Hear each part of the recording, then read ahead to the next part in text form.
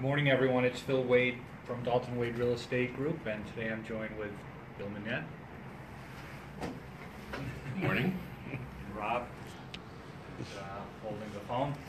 And today we're going to talk about um, internet buyers and, uh, and winning winning them over. Um, so, you know, typically you get that internet lead, inter, uh, Zillow, Realtor.com, two primary sources, and you know, um, you're going to call them, text them, email them, and uh, if you do, you know, make contact, um, oftentimes a uh, common common question or common response from them is, "Are you the listing agent?"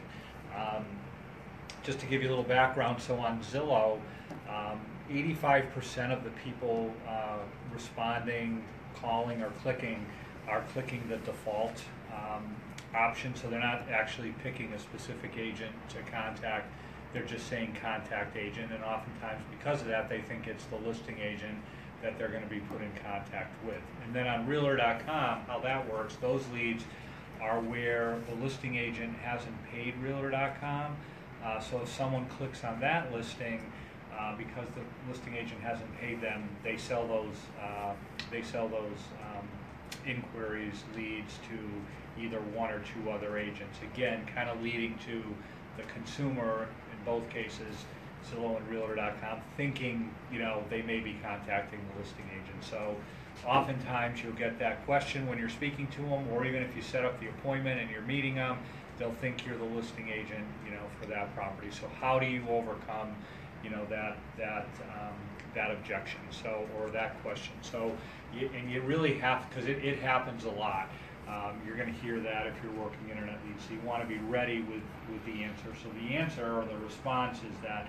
Um, are you the listing agent? Well, and you tell them, no, I'm not the listing agent, but um, why you need me is the following. The, the seller has representation. Don't you think in probably your biggest financial transaction, you need to be uh, represented?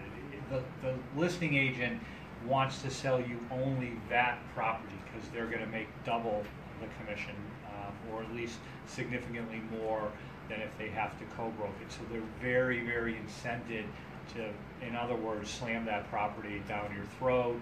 Um, I remember when I was up north working, I went on a listing appointment, and unfortunately, the guy was, you know, significantly underwater on the property. He'd only been there like a year, and I said, "Well, you know, how did, uh, you know, didn't you have a buyer's agent?" And he said, "No, he dealt directly with the listing agent." So it was a case where, again, the listing agent, you know, probably not purposely, but took advantage of him. He overpaid and, and it was a problem for him going forward. So they, they don't care if you overpay.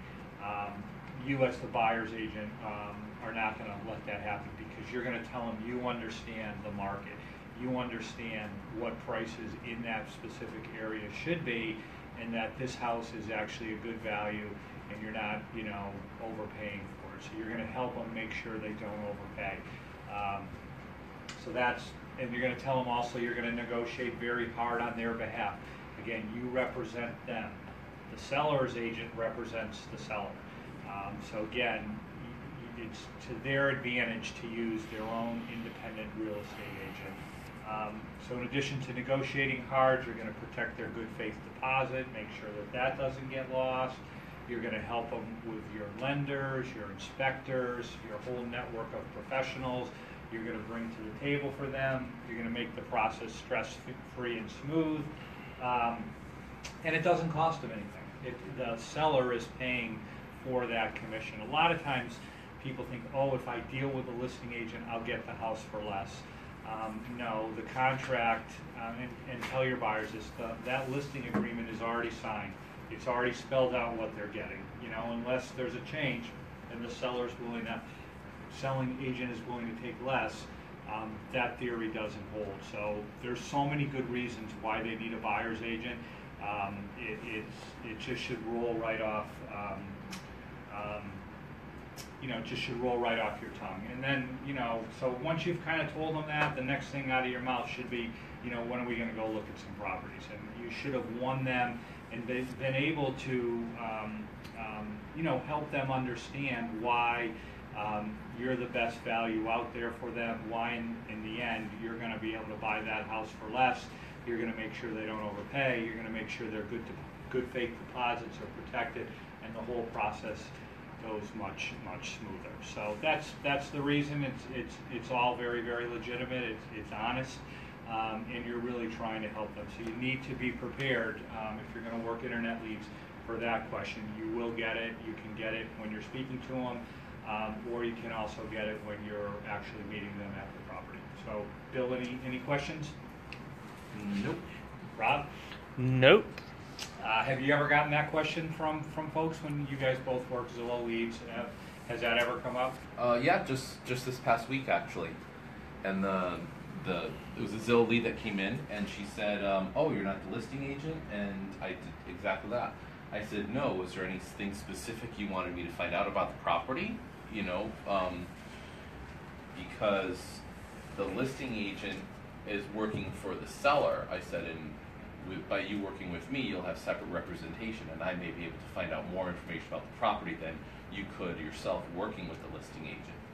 And um, she's like, okay, great, that's wonderful. And we just move forward, put the deal together, and now we're just waiting to close. Nice, nice. So, yeah, there is, there is a very legitimate uh, rebuttal, um, and it just needs to roll, roll off your tongue. So, any, uh, any questions, anybody watching on, uh, on Facebook?